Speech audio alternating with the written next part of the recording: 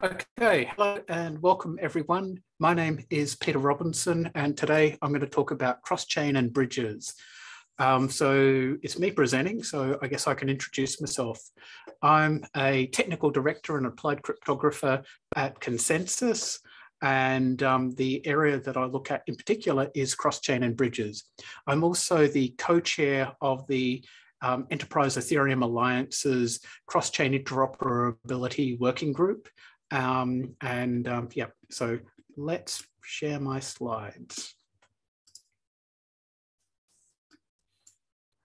Okay, so um, cross-chain bridges or DeFi bridges or chain bridges, take your pick.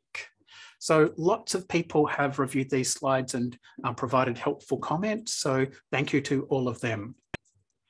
And this is a picture of a bridge. Um, and um, as you can see, um, there's a lot that's happened to that bridge over time, and it was complex when they built it. And it's built on, you know, foundations. You know, that's not built on raw earth. There's a lot of work has gone into what goes underneath. And um, in fact, that one's even got three arches, so or four arches, and so you could almost um, view it as going across multiple areas, multiple um, bits of land. And so people have had to carefully design that bridge. Um, and so similarly, blockchain bridges are like this, where you've got, they're complex, there's a lot of design that goes in, and they are based on the underlying blockchains as well. Another interesting aspect of this bridge is you can see that there's that um, darker bit. I don't know if you'll be able to see my mouse moving around, where um, you can see that um, bits have been tacked onto the bridge um, partway through. And so obviously there was some maintenance needed. And I think that's an interesting one to think through that, um, that bridges are likely to need a bit of maintenance from time to time. So today I've got a big um, lot of topics to cover. And the first one is really trying to define what a bridge is. And then I'm going to talk about um, the protocol stack and the parts of the protocol stack. And then have talk about a few of the operations to think about, such as security, scalability, fees, um, and I'll talk about standardization, and then we can have some questions to think through um, at the end of the talk. So what is a bridge? So a bridge allows you to swap assets um, from one um, blockchain to another. So you might have some assets on one chain that you want to swap with someone for some assets on a different chain, or maybe you want to be able to transfer the assets to the other chain. So swapping and transferring are similar but different. So transferring, you're get, taking something from one blockchain and getting it to the other. The other one is saying that, look, I'll I'll give you some assets on my chain on this chain for assets on the other chain. Another thing that cross-chain and bridges can do is allow you to communicate arbitrary data and arbitrary messages. Or another feature is that you could have function calls that execute across the chain. So you can have business logic across the blockchains. And so, as I said, that a bridge is known by a range of different um, terms, and they're all approximately the same thing. Um, and I don't think there are good fixed definitions of any of them. So when someone's saying a token bridge or a DeFi bridge, it's just a bridge. So why would you want to move value from one blockchain to another? So say if you're using Ethereum mainnet, um, you'll know that the transaction fees are quite high because it's a popular blockchain. Lots of people want to use it and it offers great security. But those fees um, mean that you know maybe you can't do as much as you could if you had a cheaper blockchain.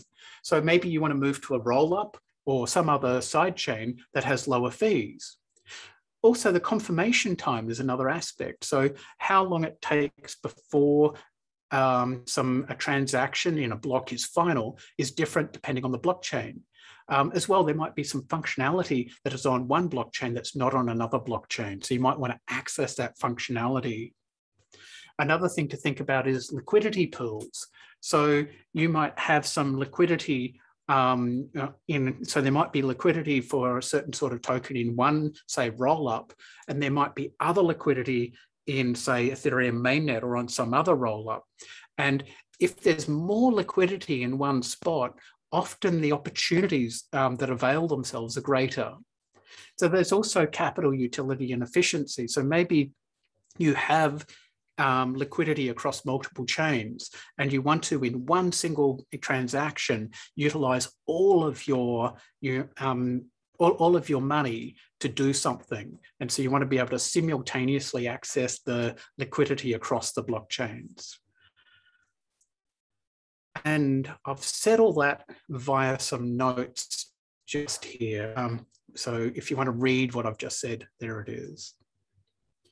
So value transfer, how does it actually work? Well, let's walk you through what you want to do. So you've got, say, Ethereum, some Ether on a net, and you want to get it to some other blockchain.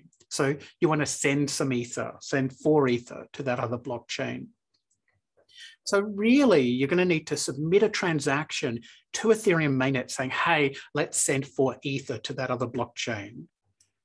Um, but the thing to think about is that Ether doesn't exist on that other blockchain. It doesn't know about Ether. So you can't send Ether to the other blockchain because it doesn't exist. So you end up sending what's called wrapped Ether. So in other words, you've got four Ether, but represented as an ERC20 token. And so you say to some contract on mainnet, hey, I want to send four wrapped Ether to the other blockchain. It, it can be represented as wrapped Ether on that other blockchain. And um, so the overall process, though, is a lot more complicated. And let's walk through this process. So the first thing you're going to do is you're going to buy that for Ether and say, I want to convert the Ether to wrapped Ether. So that's the first transaction.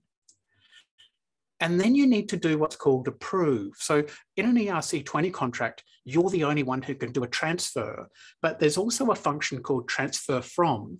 And so an account can do it can execute transfer from on to transfer someone else's money if it has been approved. So Alice here approves of the bridge contract spending for of her wrapped ether. So using in a transfer from.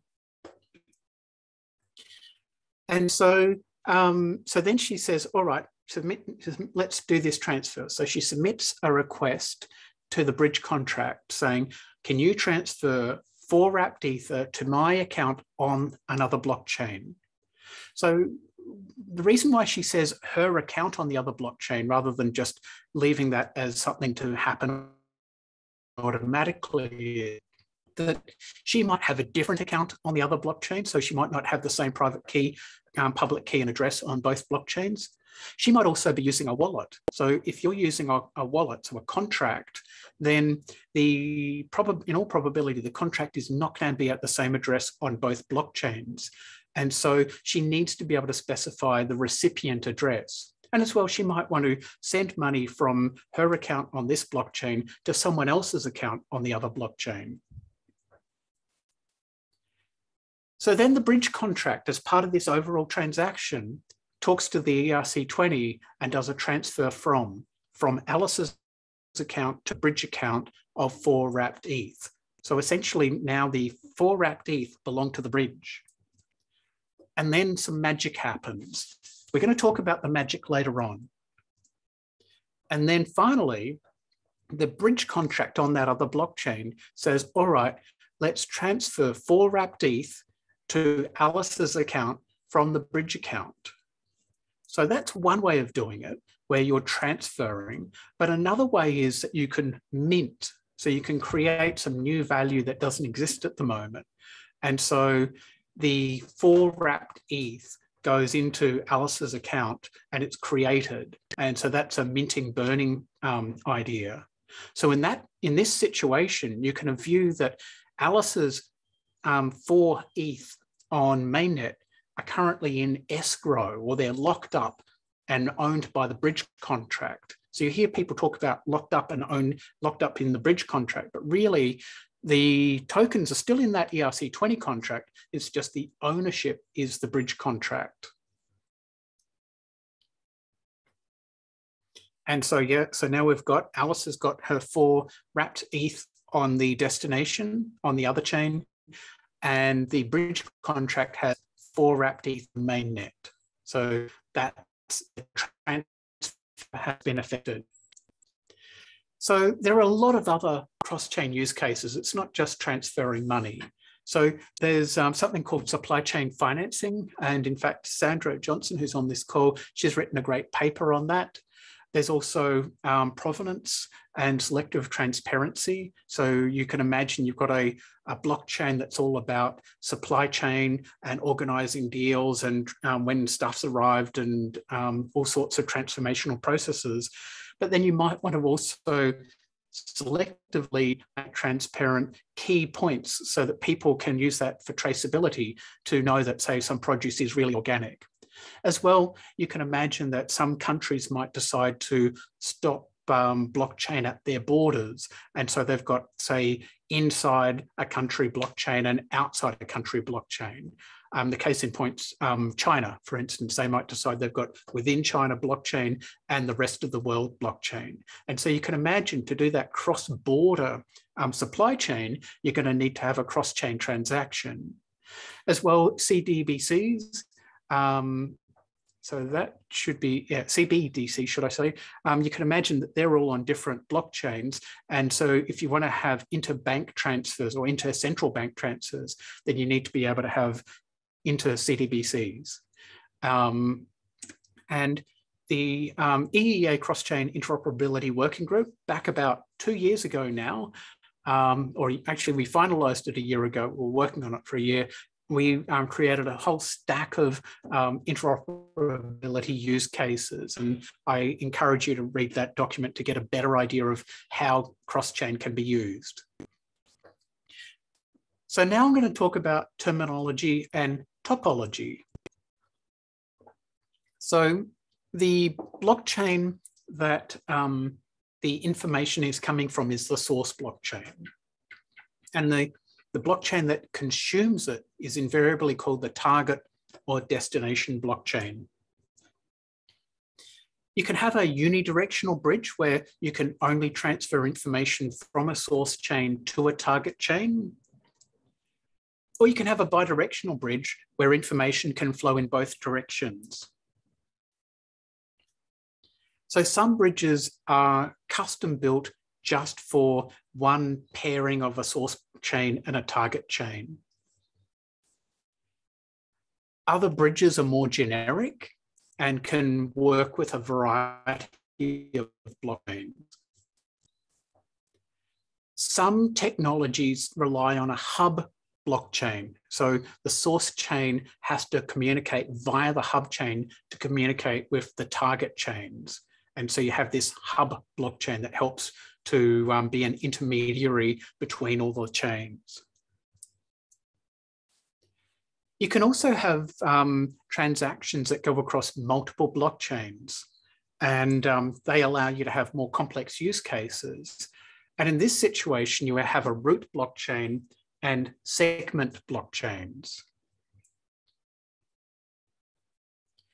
So one thing that I've been working on and at the EEA we've been discussing and moving towards is a cross-chain protocol stack. And um, we, we think this is important to allow interoperability. And so the idea is that you have cross-chain applications. And so they're applications that work across blockchains.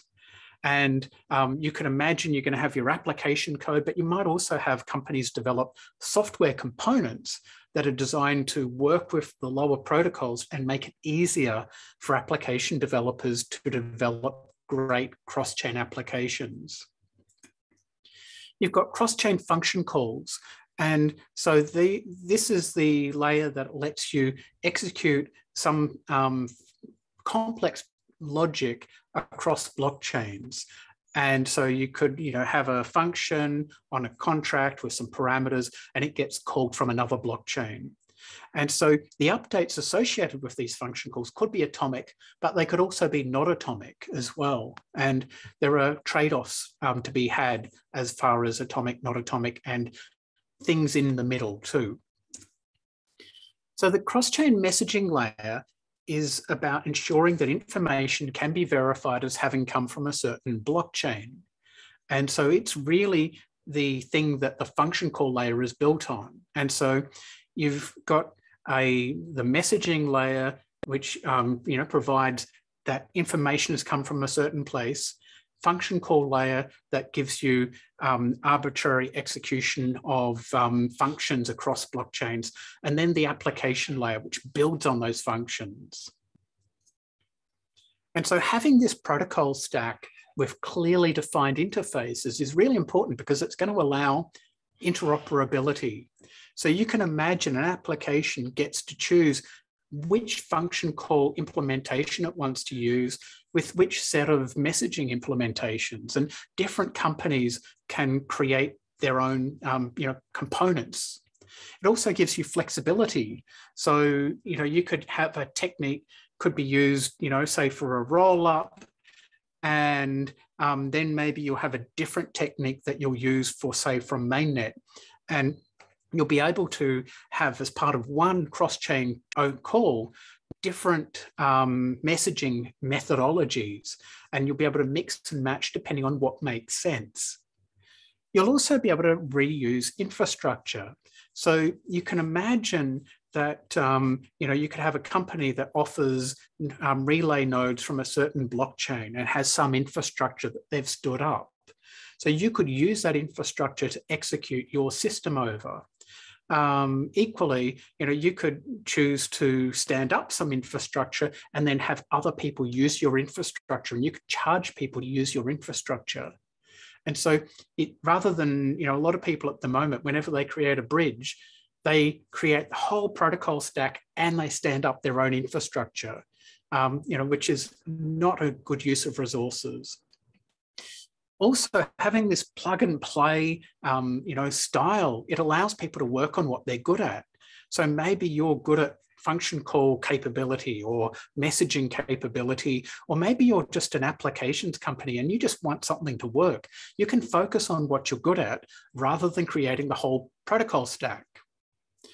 And if you are a researcher you can do experimentation. You don't have to develop the whole protocol stack from scratch um, and so, um, yeah, so you, which is good. So if you're a university researcher, you could take uh, a pre-existing protocol stack that's implemented with these interfaces and create your own component.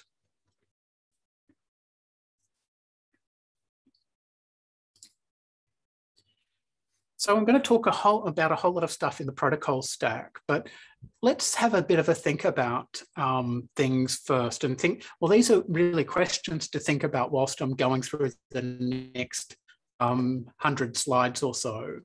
So who is being trusted in the system? and how many transactions are needed to facilitate the transfer and who is submitting those um, transactions. So importantly, if I'm a user and I don't have any value on that destination chain, do I have the right or the ability to submit a transaction? And you know, how are these um, infrastructure components compensated? You know, so why should someone offer an infrastructure component if they don't know that they're going to get paid? And um, do the infrastructure components need to interact with users? And if they do, you know, they've got to worry about DDoS attacks and things like that. And how many components need to be compromised or bribed for the system to fail? And what attacks are likely to be possible? And probably the big one is if you had a billion dollars that you wanted to transfer from one blockchain to another blockchain, which of the techniques would you use?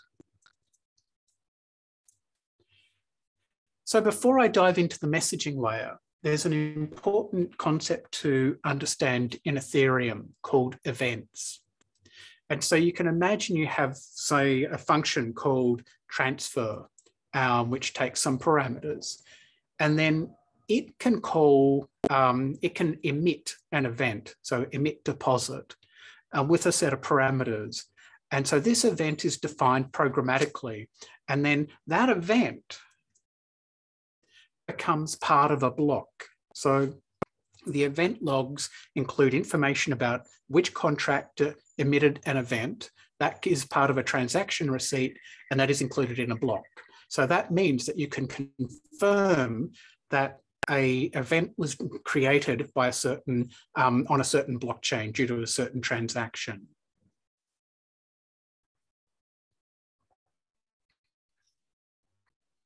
And so you can imagine Alice is there, she submits a transaction, and then an event is emitted. And the event can be proven to have come from that blockchain. So you can prove that information came from a certain blockchain. Another important thing to understand is finality. So you can imagine you have a blockchain and the canonical chain is shown to the bottom and you've got a fork on at the top. And so forks happen in Ethereum mainnet all the time, and it's due to um, latency across the network. And you know, you have say two miners mine the best block at the same time. So if you've got some stale blocks, they don't the transactions in them don't necessarily end up in the canonical chain. So the transactions may be also in the canonical chain, but they don't have to be. And so if you're relying on an event that was emitted by a transaction that never ended up in the canonical chain, then um, you know you're going to be in trouble. And as well, the transaction when executed on the canonical chain might have ended up creating a different event because the event's got information that is programmable. So it's you know based on these parameters, and those parameters might have changed. So you know, you should, uh, when you're looking at these cross-chain messaging systems, you've got to be sure that the events that you're um, basing everything on belong to transactions that are in blocks that are probably final. And um, so typically on Ethereum mainnet, you want to wait between six and 12 block confirmations. Um, I've written a paper um, which you can access down the bottom there, which talks through um, how you get the numbers and what they mean. And, um, you know, you can work out which end of that you want to be on.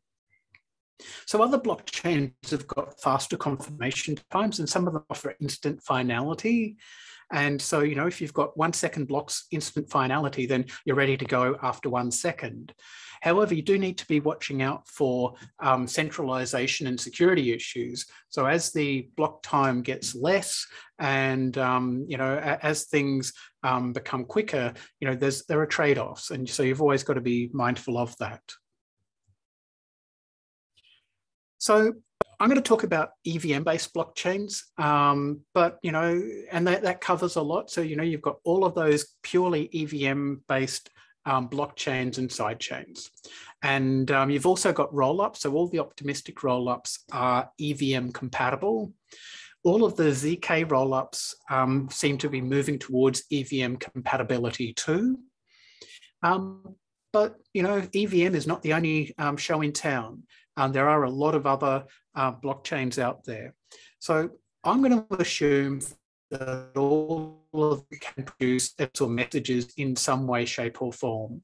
And I think that is generally true. Bitcoin obviously can't, but um, I think pretty much all of the other platforms can. So one of the big design choices that you've got to make in any in in these systems is trust, and um, you know, so people talk about trustless. Um, and I think trustless is a bit of a misnomer because, um, you know, at the end of the day, you're always trusting someone. And it's just really a matter of knowing who you're trusting and how many people you're trusting. And, um, you know, that, that's really what it comes down to. So on Ethereum mainnet, for instance, if 51% of the proof of work miners became dishonest, which is not going to happen. But if it did, you know, then you'd be in trouble. So it's a matter of knowing who you are trusting.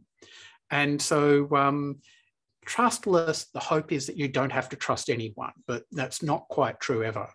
Semi-trusted or almost trustless, it's, you know, you've got to trust that at least one party is honest. And then you've got semi-trusted where maybe you're aiming for a threshold number of honest players And trusted, well, you're relying on one single party and you're hoping that they're honest.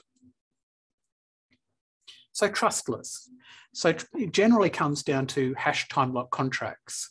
And so the idea is that you are going to release um, some value based on a pre-image being presented based on a hash. So H equals the message digest of R, where R is a random number. So R is the pre-image. And so you, um, you know, so HTLCs aren't, by the way, um, exactly messaging protocols, but they're pretty similar. And so, um, so when you're looking at a HTLC, the first thing you need to do is set up deals between and how much is being transacted. And that may happen off chain, could happen on chain. And then the next step is that Alice comes along and she puts in some um, value, say, um, 10, and she says, all right, 10 beta um, coins on blockchain B, assuming I get um, one alpha on blockchain A. And so she puts in her 10 beta and she sets up a timeout. And then Bob then deposits his tokens on blockchain A. And then Alice submits R such that H equals message digest of R. So in other words, assuming that equation works, then she can withdraw her tokens on blockchain A. And then Bob then comes in and sees that R value and submits it on blockchain B. And then he can withdraw his tokens. And so that sounds great. No one had to trust anyone, but, um, and it, it is atomic, usually. Um, so it's limited to value transfers. There's also griefing attacks possible. So griefing attack is other, always also known as sore loser attacks. And so Bob could just choose to not do step three. So Bob could not put his coins in, and Alice has to wait around for until the timeout. And um, also, Alice could um, wait for um, wait, wait, for Bob to submit, um, you know, to submit the R, and then um, you know. Uh, yes, you can get the slides, and so um, and the coin the coins will be locked up forevermore. So it requires the parties to be observing the blockchain, which is a bit of an issue. And as well, the time you have to be careful with the timeouts. You want to have more timeout on blockchain A than blockchain B. Otherwise, Alice will have to wait um, until you know could wait just before the timeout and then do her withdrawal, not giving Bob enough time. And um, also, if Alice can make Bob um, go offline by maybe turning the electricity off where he lives, or um, um, maybe making the blockchain that um, Bob's trying to submit his R value to busy, then again, he could um, end up not being able to execute before the timeout and losing his money. So that's the basic HTLC mechanism. But what about as a bridge?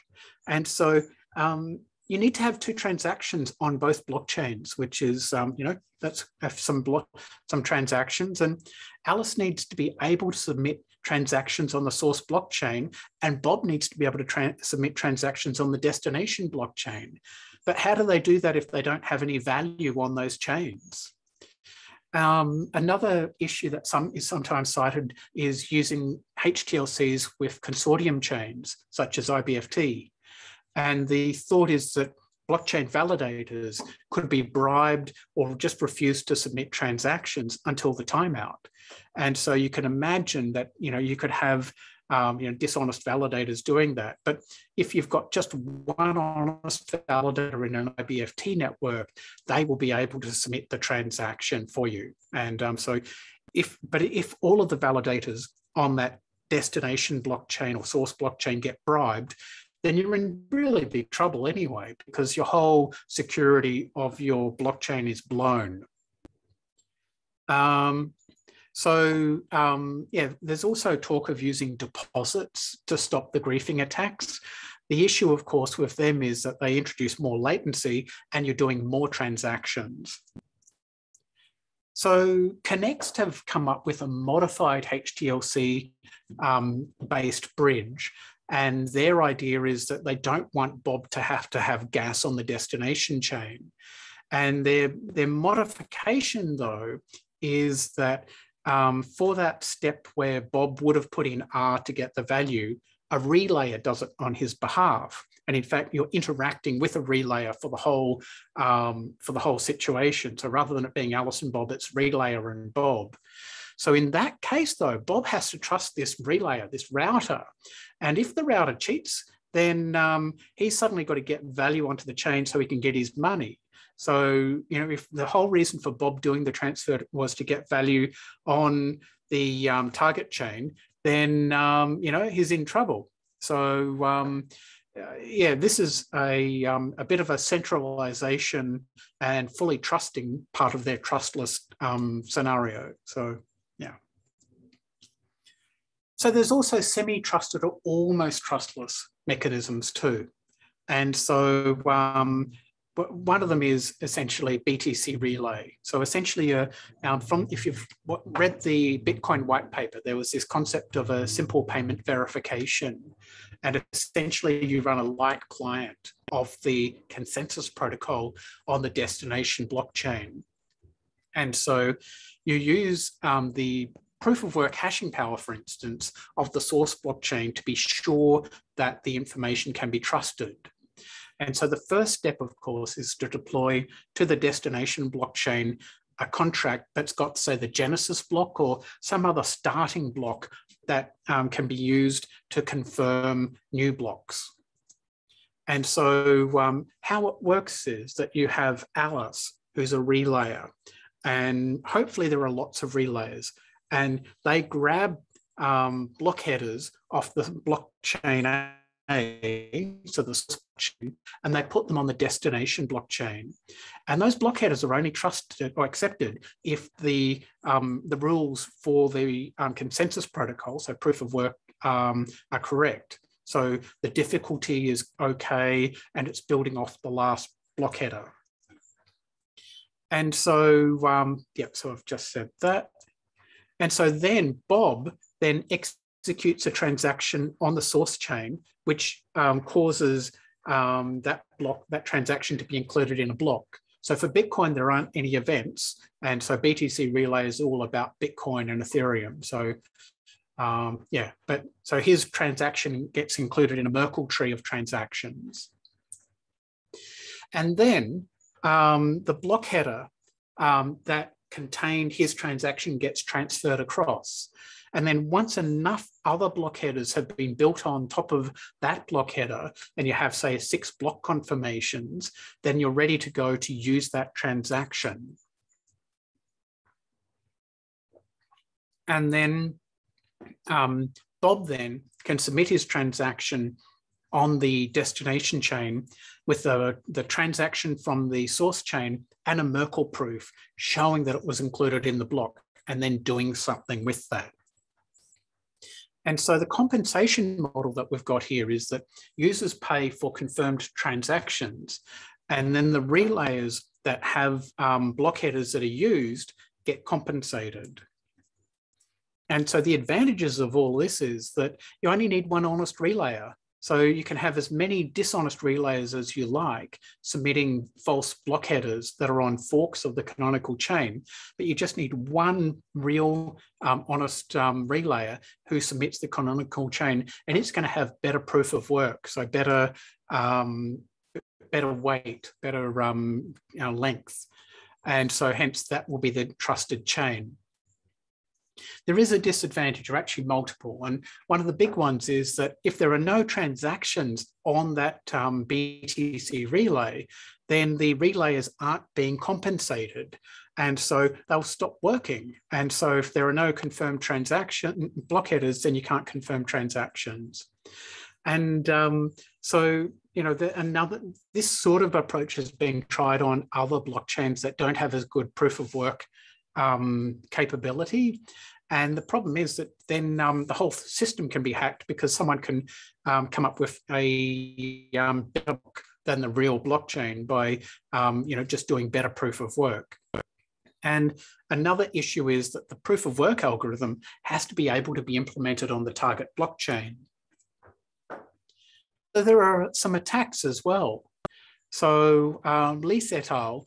came up with this great attack. So imagine Eve has $1,000 on Ethereum mainnet. And so Eve sets up the contract so that she says, if someone gives me $1,000 worth of Bitcoin on Bitcoin, then I'll give them $1,000 on Ethereum. And then Eve convinces Alice and Bob to transfer $1,000 of Bitcoin to her on Bitcoin based on the ETH that's on mainnet. So only um, Alice or Bob, though, will be able to confirm their transaction um, because you know one of them will get the thousand dollars worth of ETH, and the other, by the time they submit, it'll be too late. There won't be any ETH there, and so Alice gets two thousand dollars of BTC, um, or rather Eve gets two thousand of BTC, and Alice gets thousand, and Bob gets nothing. They also identified another attack, a liveness one. And so you could imagine that Eve convinces Alice to have $1,000 of ETH on mainnet. And um, then Eve walks away and never transfers any money. So Alice now has got her money locked up forever, which is not good. Um, as well, Martin Swende, who um, was the chief security person at Ethereum Foundation, he identified a software defect as well, which meant that you could um, you could get around having to pay to um, have blocks or transactions confirmed. So there were software bugs as well. So that was BTC Relay. Has anyone tried a similar thing with Ethereum mainnet? And the answer is yes. So there's Rainbow's, uh, the Rainbow Bridge by Near protocol. And so it's a way of going from mainnet to Near's um, blockchain. And so they've done this massive feat of getting the Ethereum proof of work algorithm to work on Near. And um, you know, it's, it's a huge feat because it's a time and memory hard protocol. And so it's much more complicated than Bitcoin's protocol. And um, so it works, um, but, but, but, but Ethereum mainnet is going to be um, coming proof of stake in Q1 next year, probably. And so once the merge happens, this bridge is not going to work because there'll be no proof of work anymore. So um, now I'm going to talk about these semi-trusted or trusted mechanisms. And invariably, you've got a threshold number of relayers or some validators or testers, and they sign, or maybe they do multi-party computation on, on the source chain. So threshold signing, essentially, but sometimes it's not signing, it's computation. And if you've got a trusted system, maybe you've only got one relayer. And so the public keys of the system are registered on the target blockchain, which invariably means for Ethereum, the address is stored on the blockchain. So I'm going to walk through a, a whole stack of approaches, um, but you know the choices really come down to who is signing. Is it just do you sign individual messages, or maybe a Merkle root, whether you've got a whole Merkle tree of messages? Um, you know, do you create that Merkle tree yourself or are you relying on block headers and transactions? So have the blockchain create that Merkle tree? Um, do the attesters cooperatively sign or do they separately sign? And do the um, and, and relays and attesters respond to requests from users and maybe have to deal with um, DOS attacks? And so who does put that transaction on the destination blockchain? So the first approach um, is a bit like iron framework. So you have a source blockchain and you have Alice submitting a transaction and it emits an event. So business logic contract calls the bridge contract and the bridge contract emits an event. And then um, you can imagine that you have relayers and they see the event, uh, they see um, blocks being produced. And once the blocks are final, they each individually submit the block header on the destination blockchain. And then Alice then can submit her event with a Merkle proof, which says this event was part of that block and hence you should trust it. And then some, then based on the function call that's submitted, a business logic contract gets called. And so for the the simplest approach, you're submitting all of the block headers. And so this is simple. Um, and you know the relays don't have to talk to each other and the users aren't interacting with the relays, which is good. But um, you're submitting one transaction for each relayer for each block, which is a lot of transactions.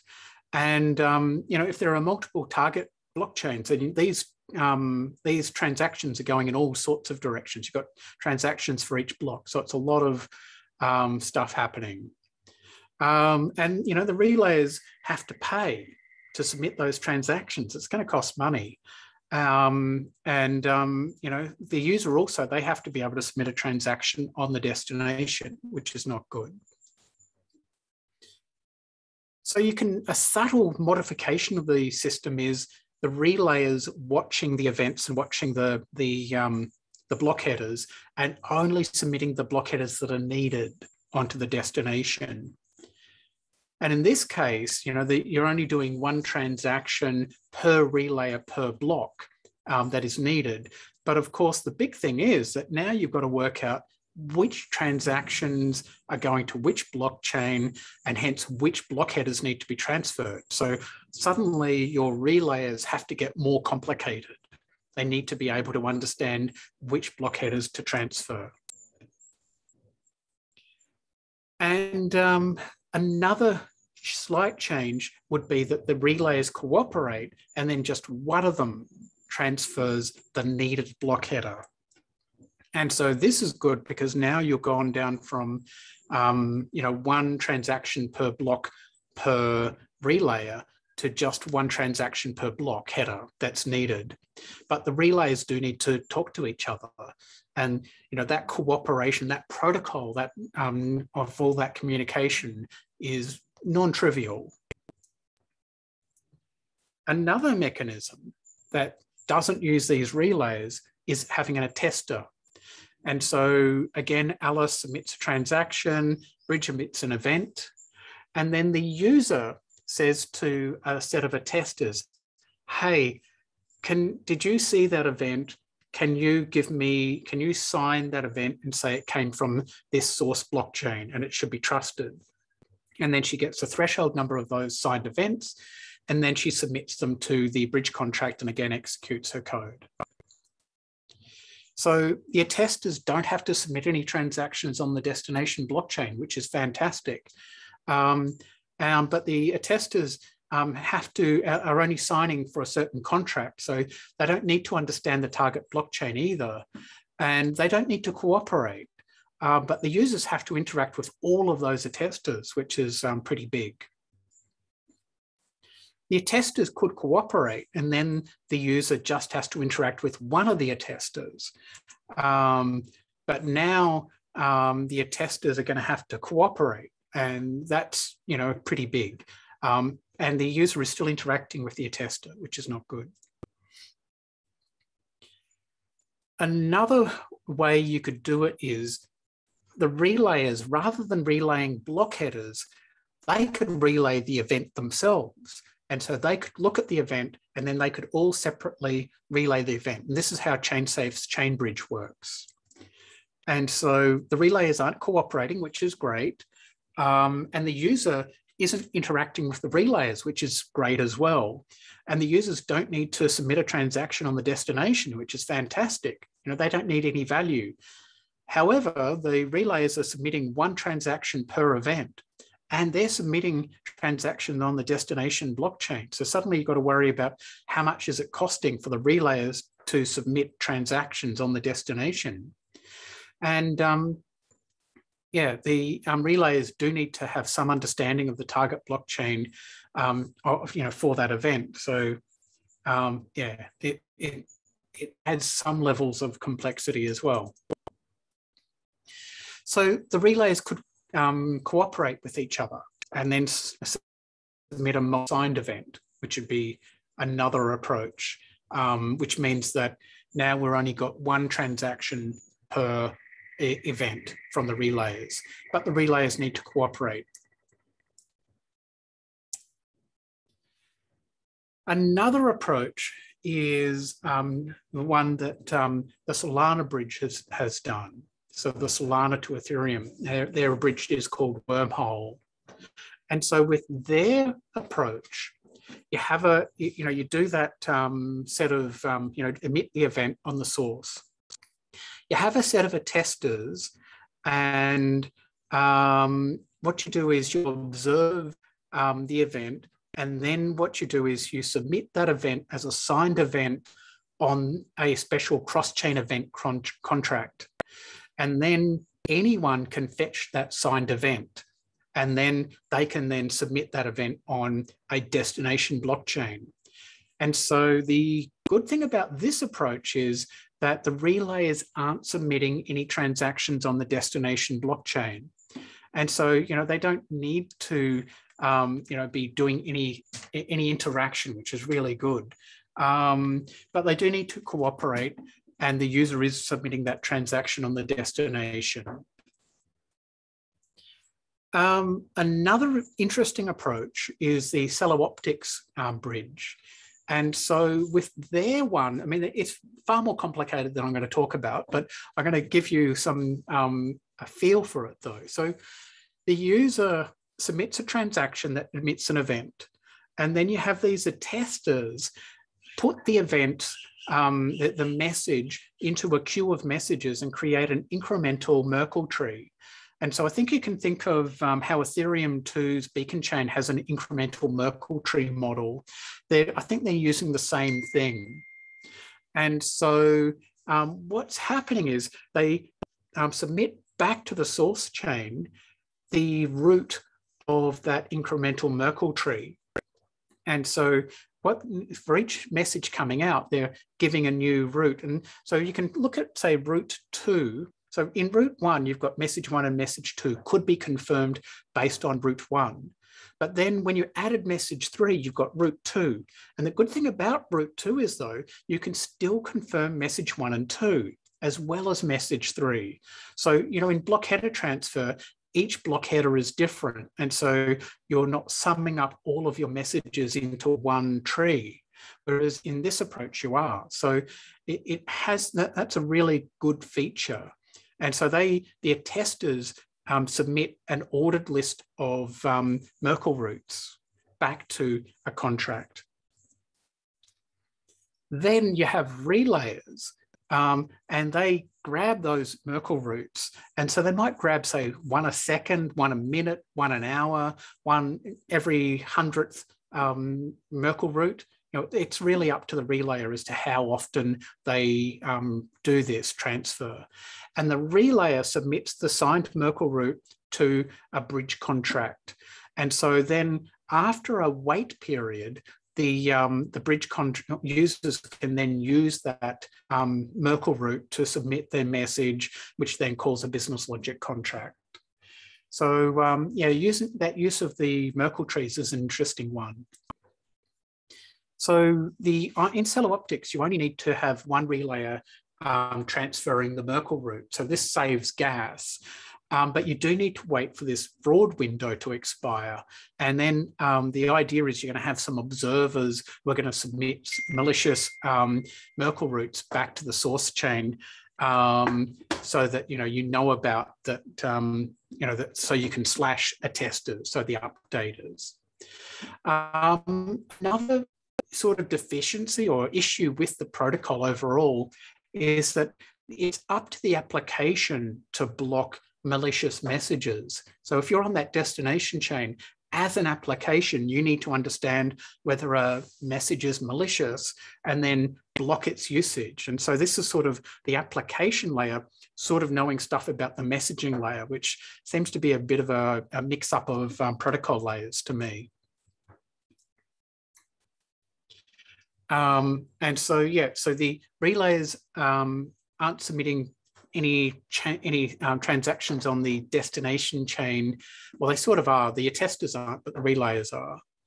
Um, and um, they, um, you know, so the relayers again, they're not having to worry about the actual target blockchain, or the attesters don't, but the relayers do. And the users aren't interacting with the attesters or the relayers, which is good. Um, but, you know, the attesters are cooperating, the relays don't need to. So I think my, my words here need to be reworked. Sorry about that. Next edition. So I've talked about a, a whole stack of different schemes for transferring events. And one thing I've skirted around is actually the signing process. So you know, you, obviously you've got ECDSA, but you've also got BLS, and BLS comes in multiple forms. So you can have aggregated BLS and have th um, threshold BLS based on that. So where you add all your BLS signatures and you keep track of which one signed, and then you use that to work out um, the which public key to use. Or you can have threshold signatures where you have one public key and you use essentially multi-party computation to work together to cooperate to create a um, signature. Um, you can also use Schnorr aggregated signatures. That's what Wanchain is using.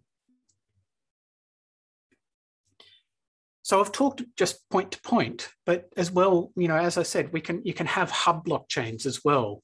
Um, so the reason why people like hub blockchains is rather than having to have potentially, you know, n to order n number of um, bridges, you might only have, you know, like um, an order one number of bridges. So in, in order of, you know, like the number of blockchains is the number of bridges rather than it being a multiple. So, you know, they reduce the number of bridges you've got to have, which is good, but um, do all the blockchains and rollups need to be interconnected? Good, you know, something to think through. And these hub blockchains are not going to, you know, they're, they're, not charities. They're not going to do stuff for free. Um, and as well, the latency is going to increase going across these hubs. So, you know, you're going to increase the latency of your transaction. Poly Network um, has a hub blockchain as well. And in their approach, they have a Merkle tree of Merkle trees. And so the idea there is that, you know, you've got your Merkle root from one blockchain and a Merkle root from another blockchain, and then you aggregate those Merkle roots up and you then advertise the Merkle root the, you know, of the whole network to all the blockchains. So there's also staking and slashing. And so the attesters or relayers, they can be required to front up some money. So I've heard um, amounts such as 50,000 and $100,000 mentioned. And so, you know, you stake that money, and then if you're proven or your uh, threshold number, if you're proven to do the wrong thing, you get slashed. So, you know, something to think about is how much money is being staked. So, you know, if you're transferring $500,000 and there are 25 um, relayers and it's 17 of 25, and they're each staking $100,000, then it's $1.7 million is being staked. So 500K is probably okay. But, you know, if they're only staking 20 bucks, then it's a bit of a problem. Um, and so, you know, you need to also understand when people say we've got this staking slashing solution, you always should ask, how am I going to go about slashing? You know, it's great to say I could slash, but you know, how do I really go about slashing? Who can do the slashing and how is it really done? And who can be slashed? So, you know, you might find that there are only very few parties in the overall solution that can be slashed and only in very certain situations. And so the slashing staking solution might not be as good as it sounds. Um, yeah, and how is how is misbehavior proven? And invariably, this is going to have to come down to some sort of cryptographic enforcement. It can't be he said, she said. It's got to be, look, you know, they signed this, but this is obviously malicious, and I can prove that they signed something that's wrong. Another thing to think about is transactions. So what happens in the system if a transaction fails? You know, does the does the relayer retry the transaction? Does it reprice the transaction? You know, same nonce higher tip or higher gas price. You know, what happens? How does this work? And uh, you know, this is something that's quite key. And you could imagine that you know this does happen. That you know maybe the permissioning might fail, or something like that. So what about at the function call layer? So you can imagine that you have a um, single blockchain call where you have, um, say, this swap function calling trans. So you've got cond trans down the bottom there. And so you've noticed that you've flipped your from and to because you're um, on one on one contract, you're um, transferring from to to, and on the other one, you're getting to to from. And um, Abhay, it'll be on YouTube. Um, yeah. And so if you're in the cross cross call um, situation though, in the multi blockchain, you need some magic um, function, some cross call function to do this transfer for you, where you're specifying the destination blockchain and contract, the um, function to call, and the parameters. And so you could have a simple function call protocol. And um, so you call a contract on a blockchain based on an event. And in fact, I've implemented an example version of this. And so in this not atomic um, version of um, the system, you know, you, you have a business logic contract, submits a transaction, goes to the function call layer, and then using one of those messaging protocols, you go across to the function call layer on the other blockchain. And then that bridge contract executes the function for you. And so, you know, nice and simple. However, it's not atomic. So these updates across blockchains are not atomic. And so the transaction on that destination chain could fail and the reasons why it could fail is maybe there's a revert that happens, you know? So maybe the, um, the on the destination chain, there's not enough funds or there's some other um, situation that you get a revert. Um, you might not have enough ether to pay for gas, um, say for the relayer um, you might not have permissioning. So maybe it's um, their solidity level permissioning that's blocking the call, but maybe also um, there are some other level of permissioning. So maybe it's a private network and you no longer have permissioning to submit a transaction. Um, and maybe you submitted a transaction at a certain gas price, but now suddenly there's an NFT sale and the gas prices have gone up by a factor of 10 or maybe just something, there's a configuration issue and the nonce is incorrect. You know, so it, does happen all the time that transactions fail, including on bridges. And so you've got to realize that if you've got a non-atomic protocol, you've got to deal with them. You've got another protocol that I've um, worked on is GPACT. And so it's general purpose atomic cross-chain transaction protocol. And so it's all about atomic updates across blockchains.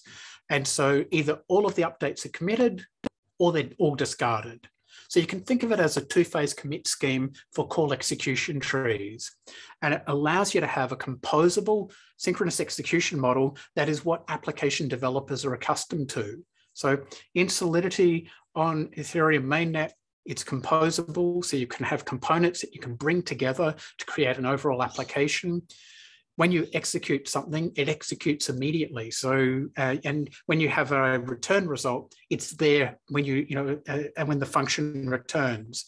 And so it's synchronous as well as composable. And so this protocol gives you that as well. And so there's an open source repo with the um, implementation of this protocol. And so this protocol allows you to do complex things like this, where you have a root transaction, say a trade wallet that talks to a blockchain which has, say, some business terms in it, saying that a shipment has occurred. Let's pay on the finance blockchain, and let's have the logistics transfer ownership on the logistics blockchain. Excuse me. And so you can do that cross um, system, cross blockchain um, call using this protocol. And so the idea is that you have the entry point function calls on each of the blockchains. And you have the parameter values that you're going to pass in, and you commit to those values. And then you advertise that commitment by having a start transaction And then you have the segment transactions, which make, make up the leaves of the call execution tree. And you work from the leaves up to the root of the execution tree.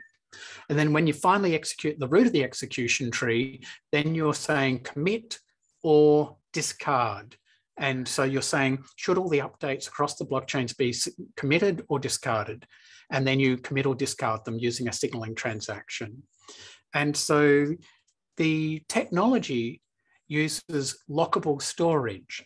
And so the business logic contracts, they have to all values that are going to change part of a cross-chain call in lockable storage. And so you have a cross-chain control contract that controls the overall execution on that blockchain.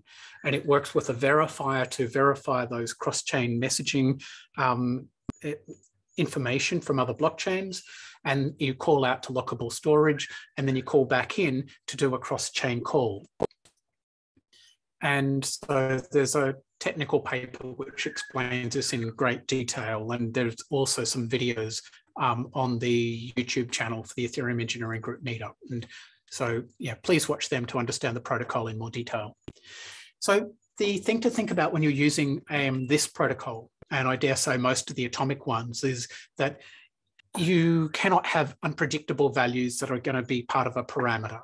And so you can't say have the block hash of the current block or the block, um, the timestamp.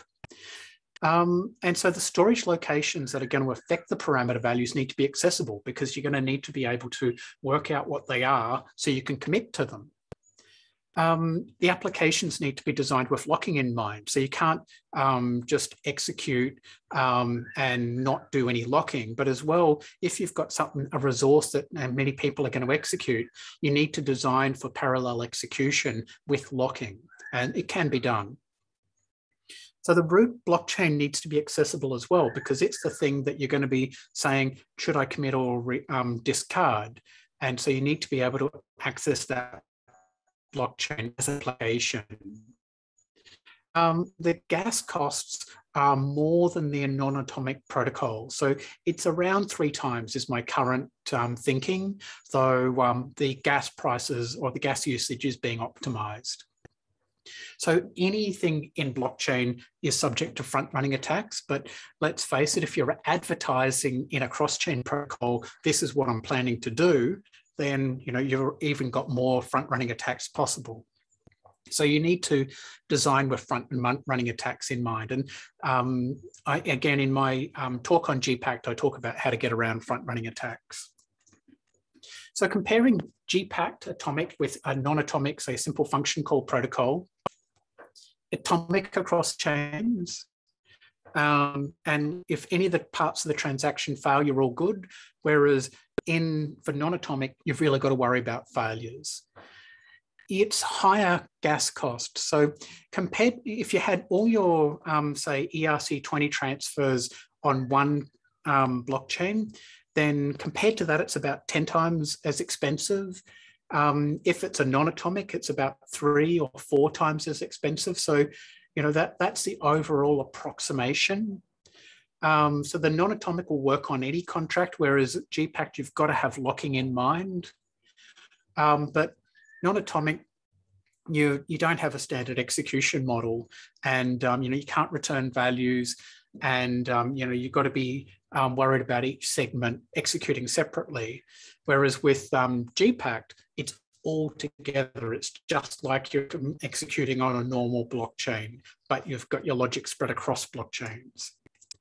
Um, yeah, and so um, I encourage you to compare, you know, if you've ever got an application, implement it as a single blockchain solution and then implement it as, say, a GPACT and a non-atomic to try and understand what the um, you know trade-offs are and how you know what the actual higher gas costs may be because it's going to be application specific. So um, so one thing to, um, and, you know, so when we're looking at design considerations for the blockchain layer, um, you know, the thing you've got to think about is that, um, that, you know, you've got to be trusting that event emitter. And so you need to know, so that function call layer bridge on the destination, it needs to only trust events submitted by the function call layer bridge on the source blockchain. And so you can't just trust any, any um, contract, you've got to just trust that contract. And, um, you know, so for the relayers, um, you know, you, you need to be, or when you've got these messages going along, you need to worry about replay. And, you know, you wouldn't want an old message that said transfer 10 tokens to someone to be replayed again and again. So you have to have a way of having some sort of unique ID or something to prevent replay um, attacks. Um, and as well, you might want to just have a timeout or age events. So say, look, after one hour, any event from that from any blockchain is deemed invalid. And that's just to stop people storing up old events that somehow or other they've got obtained, or maybe they've found some compromised private key or something, and then they've created a malicious event. So I think you've got to look at having timeouts. And the timeouts can also work in with those unique IDs that I talked about just before, so that then you don't need to store all of your new unique IDs for all time and you can delete old ones. Another thing to think about when you're designing these systems is application level access control. So you know, in um, on normal, you know, Solidity on um, one blockchain, you have message sender equals owner or authorized, and um, then um, you know throw a require if you um, are not authorized. So in a cross-chain situation, it's going to have to look something like this. So does, you know, is that source blockchain in the list of or in the map of authorized blockchains? And is the source address authorized as well? And um, was the actual the person you know the entity that sent me this or did this function call was it the actual function call bridge contract or something else? Um, so you know so it's worthwhile you've got to do this application authentication to make sure you're being called by a valid party because you know that business logic contract there needs to know it's the bridge calling it and not some other contract. So yeah, so the, the function call layer has to provide the blockchain source blockchain ID and source contract address for applications. And so that's something that you've got to design into your function call protocol on, and should be there. And for these multi blockchain protocols like GPACT, you need to know about the root blockchain as well and have its identifier as part of the overall call. So you can have a bridge that allows you to do arbitrary execution where you can execute anything or you could decide to restrict which functions can be called. So you could um, have a allow list of, you can call these contracts and these functions. And obviously arbitrary execution is going to be simpler, but it could give you some more security risks. So, um, you know, you've got to think about the flexibility and simplicity versus security um, and what does your solution need it's also a good idea to be able to pause a bridge. And so, you know, all the, you need to be able to essentially pull the plug temporarily and say, hey, something bad is happening. Let's pause the whole bridge. It'll be a pain to customers, but if you're currently being hacked, um, it's probably a good thing to be able to do. So we've done the messaging layer and the, and the function call layer. Now let's hit the application layer. So we now need to have the move up the stack a bit. And so now we're in our business logic contract. And really, your business logic contract is going to need to know that it's really dealing with um, part of your application and not some random other contract. So maybe you need an allow list of application contracts that can talk to you. So sure, in some situations, you're going to be open to any um, any any application, any contract on any blockchain, but in other situations, it's going to be more linked, and so you need to have that allow list. You need to be pausable as well. Um, so the reason for having pausability at the function call layer and the application layer is what happens if there are multiple applications using the one function call bridge and it's only your application that's being hacked? The function call bridge is not going to want to pause. They're going to want to keep on going. And so you, um, yeah, so you might be in your best interest to um, have your own pause feature. And it's not going to cost you a lot of gas because all you're going to do is be reading one storage location to say, am I paused? So it's not a biggie. Um, and um, so another thing to think through at the application layer is that if you are using a non-atomic cross-chain function call layer, then you know you could have failed transactions. And so invariably you'll see these ERC20 um, bridge um, contracts and they'll have some admin transfer. So it's where this you've got this um, entity that can um, do a transfer to anyone for any token in any amount. So, you know, imagine if you had, say, um, $200 million worth of wrapped ETH on your bridge, and you've got some admin somewhere can just do this call and can transfer all that money. So it's a it's a bit of a scary thing. And so I guess the question is, who is this really trusted admin that you're going to have? And what happens if they send $200 million to the wrong address? Or even if it's just a, a, a $10,000 transfer that fails and they have to do a refund. What happens if they send, you know, they do a typo and they send $100,000 rather than 10,000, or they send it to the wrong recipient or for the wrong token? It, to me, it feels like a complete nightmare. Um, yeah. So I think the idea of, I mean, this is the real cost of non-atomic bridges is having to have this admin transfer. So as well in the at the GPACT um, protocol, so it allows it requires locking, and the locking is actually done in the application. And so you can do locking for a whole contract at a time or just single storage locations. And so if you do for a whole contract, obviously your whole contract is locked, but it's simpler and it's going to cost less gas. But um, if you're doing per storage location, then you can have far more complex designs. And in fact, there's templates to help you, you know, to make this simple for you, um, but it does cost a bit more gas. Another thing to think through, especially for ERC20, is minting and burning and mass conservation. So these, um, the, you can have a, an ERC20 bridge or ERC20 contract, should I say, which is a minter burner. And in this situation, any user can burn tokens, so essentially throw them away, have them destroyed.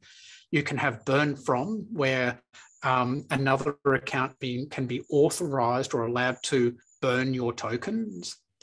As well, um, certain entities with a minter role can be authorized to mint tokens. So you can imagine that you've got, say, Ethereum mainnet and a sidechain. And when someone transfers tokens from mainnet to the sidechain, you want to mint some tokens to give them based on what they've done on mainnet. And um, the so the, the, what that's going to mean is that the the entity that's authorized to mint is going to be the cross-chain bridge.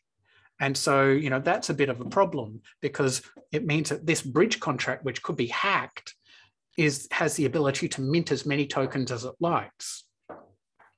So the opposite type of um, bridge or contract is a mass conservation contract. And in one of those, you, um, you, you work out your total supply and at that point, you can't go off and um, create more tokens. And so invariably, you um, your your bridge owns some tokens and it transfers um, essentially to users, and then they transfer tokens to the bridge. Um, to the bridge ownership. And so in that way, the bridge is holding the tokens in escrow. So if there's a bug, most tokens that can be stolen is the number of tokens that were in escrow. And so the attacker can't create more tokens. And of course, you can limit how many tokens are active as well. The bridge doesn't have to own all the tokens. So another thought is limiting the value on the bridge. So if you've got say $50,000 per staker and you've got overall a million dollars staked, say, um, then, you know, you could say, right, we want to limit what's on the bridge to being less than um, the amount being staked. Um, but of course, as we know, it's not the amount staked, it's the amount that can be slashed, which is you know subtly different. Um, but yeah, so you want to try and limit that. But the question then that you've got to ask yourself about, all right, we're going to limit, we're going to have a bridge quota, is so at which layer of the bridge are we doing this quota? And you know, say, can the say function call layer know anything about the amount of money on the bridge? And um, what about ERC20 or ERC721 tokens? So the NFTs, how much is an NFT worth? So how do you work out how much you've got on the bridge? And what about a trade finance situation? You know, how does that relate to money on the bridge? And um, for that matter, how do you temporarily reject things or pause, pause transactions whilst you're waiting for money to go off the bridge? And what is on the bridge anyway? What does it mean to be on the bridge? So um, another um, thought is at the application layer is that all these cross-chain transactions cost money. So maybe you could somehow or other batch them up and you know say maybe hold all transactions for say 10 minutes and then send them off in a single transaction or maybe you allow users to send multiple different tokens all in one transfer so you're going to have to worry about then what happens if one but not all fail on the destination? What happens then? So I think there's a lot of complexity trade-offs there. All right, security. So there is, um, so Open Zeppelin is a project which does um, lots of template contracts for um, that you can use. And they've got um, some access control contracts.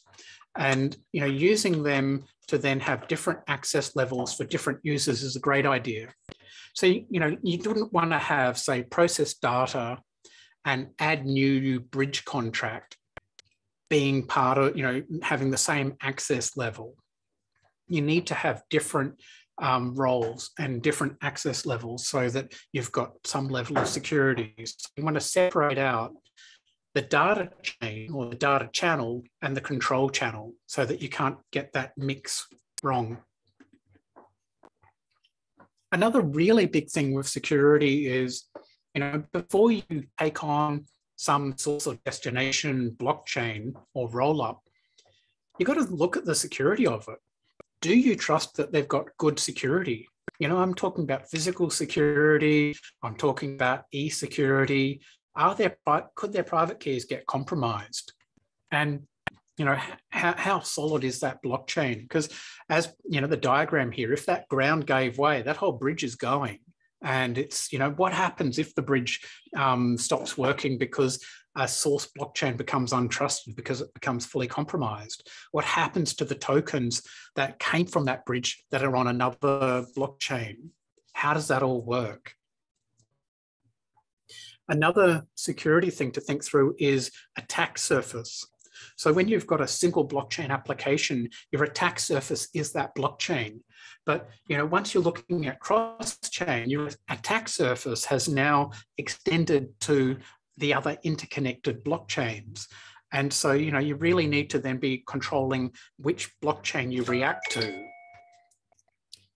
Okay, another thing to think through is the blockchain IDs.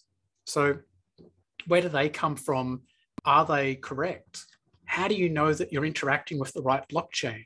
and um, you know where did where, where, how do you work out the boot nodes to interact with so Weijia and i um, via the enterprise ethereum alliance have come up with a, um, a, an eip that talks about this. So have a look at that.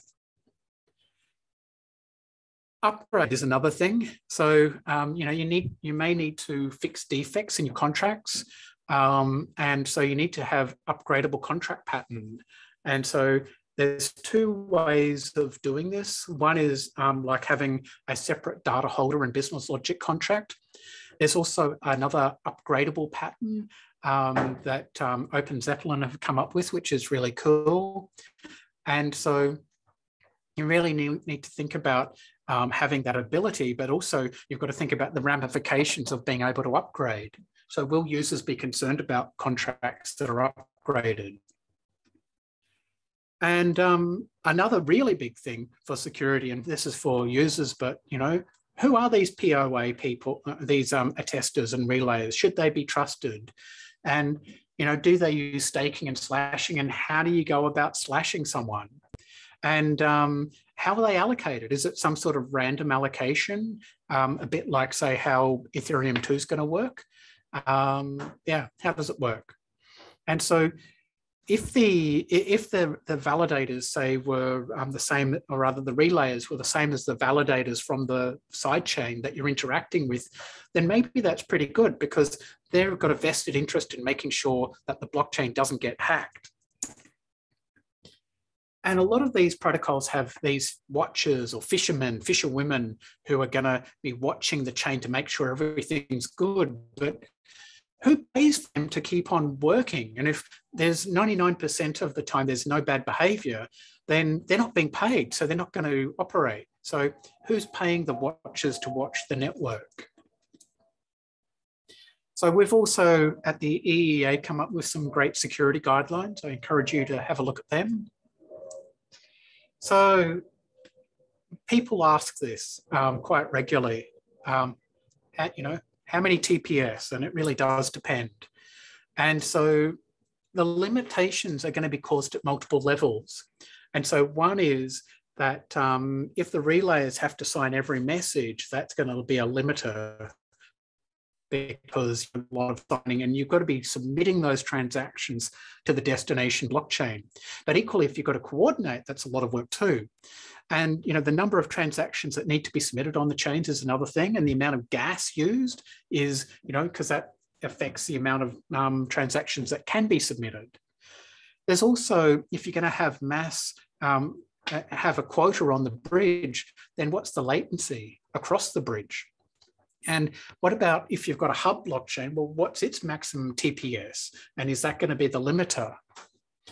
Um, you've got to worry about also the performance of these blockchains and especially when they're in congestion maybe um, the scalability of your bridge is going to go down and um, as well the, at the application level it's going to come down to what's being executed and as well how the um, if for lockable contracts how they've been designed and whether you can have parallelism or not or it's all got to be um, serially done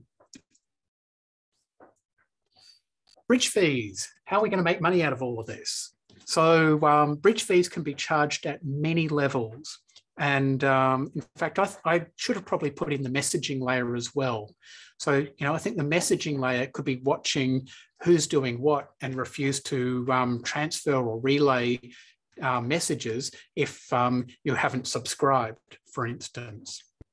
But you could imagine you could um, have some ERC20 that you that you um, that you ask for. Um, that you know, so you could have, imagine you can have an ERC20 that you get charged as part of the bridge function call, and um, you could also require ETH be um, transferred as part of the call.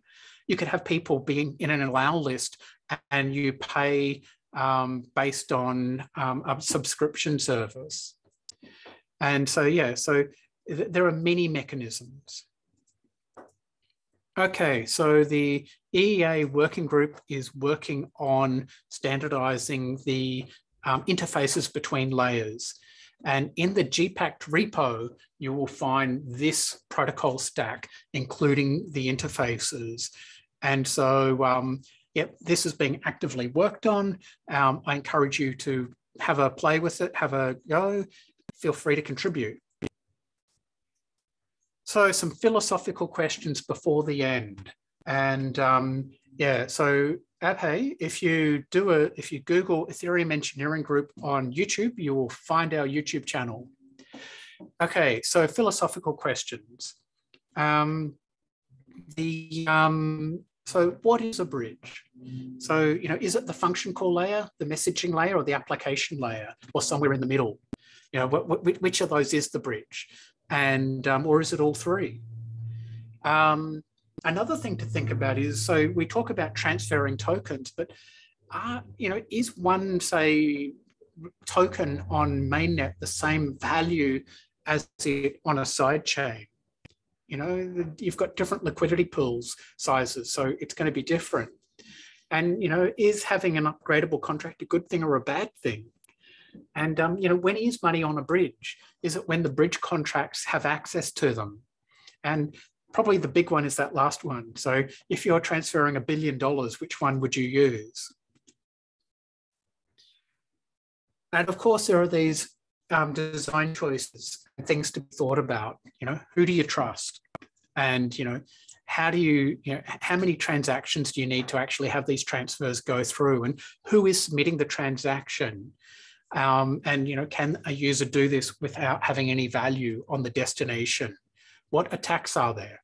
Yeah. So coming up, we have got a stack of talks over the next three months. I encourage you to turn up to all of them. Um, and so next is um, Raghavendra with state expiry. So just go onto the Meetup website. So this is the Ethereum Engineering Group Meetup. Um, go onto our one. I do put some on the other um, meetups, but not always. So for a complete list, use the Ethereum Engineering Group. And I have talked an awful lot. Um, and I don't know if I even dare to say, are there any questions? I know Mark put something in.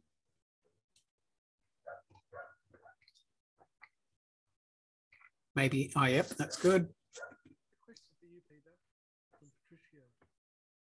Oh, just a sec, Sly's off. Was that you, Sly, saying something awfully quietly? Uh, there's, a, there's a question for you in the chat. Oh. Okay. Is it?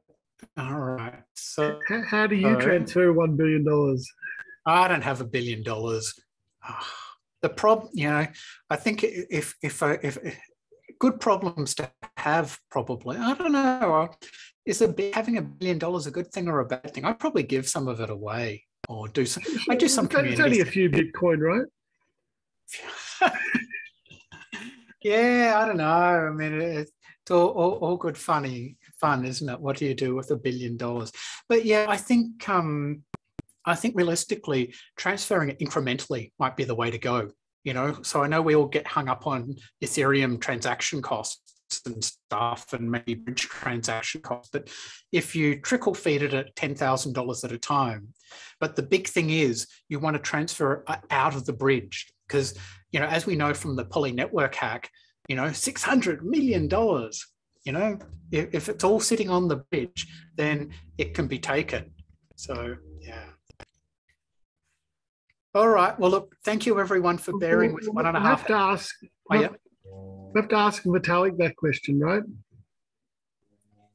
yeah he doesn't I, I so we've had vitalik do a talk at one point and um, I tried to make sure everyone steered clear of the is the ETH going up and how much ETH do you have, Vitalik? Because it feels a bit, you know, um, yeah. But I, I think you probably find he'd say, why would you transfer it onto another one? yeah. yeah. I mean, the question, why would you? You don't need. Well, you know, I, I don't think you'd transfer a billion. I can imagine though transferring some money onto a roll up you know, just to do stuff on a roll up. But yeah. All right. Look, thank you, everyone. Um, have a great um, two weeks. It's going to be great to hear Raghavendra in two weeks. And please um, RSVP for all the sessions. And uh, in particular, for, I'm really interested in seeing how everyone goes at the solidity test in about two months' time. So, you know, start learning up on solidity now, Stefan, and you'll be ready to do the solidity recruitment test. All right. Bye.